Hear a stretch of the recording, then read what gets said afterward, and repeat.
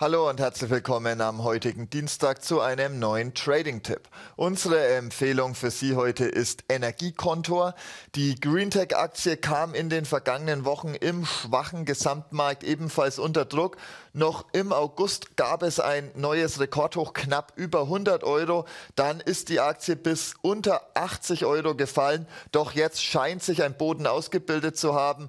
Im Bereich knapp über fünf, zwischen 75 und 80 Euro hat die Aktie in den vergangenen Monaten bereits öfter gedreht und jetzt zu Wochenbeginn gestern hat es anscheinend erneut geklappt. Jetzt ist die Aktie wieder auf dem Weg nach oben. Heute auch ein freundlicher Start bei Energiekontor.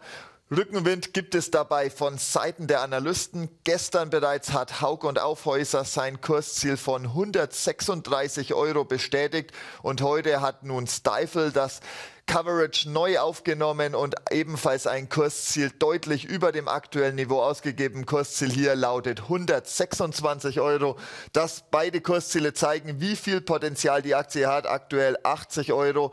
Jetzt auch an der 200-Tage-Linie die Aktie und wir setzen darauf, dass es eben nun wieder nach oben geht, denn auch grundsätzlich stimmen die Aussichten bei Energiekontor als Betreiber und Projektierer von Wind- und Solarparks dürfte die Aktie von dem neuen Green Tech-Bewusstsein weltweit profitieren und dürfte sich auch von den Debatten um eine Strompreisbremse nicht bremsen lassen. Dreistellige Kurse sind mittelfristig wieder möglich. Erstes Ziel wären für uns 90 Euro. Das sind rund 10% Potenzial bei der Aktie. Und das Ganze kann man wie gewohnt wieder mit einem Faktor Long spielen, um etwas mehr Potenzial kurzfristig herauszuholen.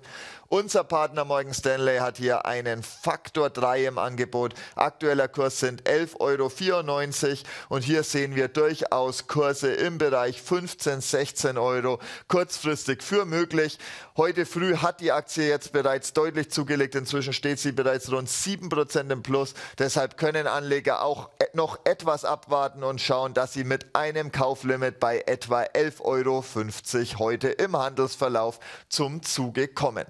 Ich wünsche Ihnen mit dem Produkt viel Erfolg, heute gute Kurse und dann sehen wir uns morgen hoffentlich wieder zu einer neuen Ausgabe des Trading Tipps. Bis dahin.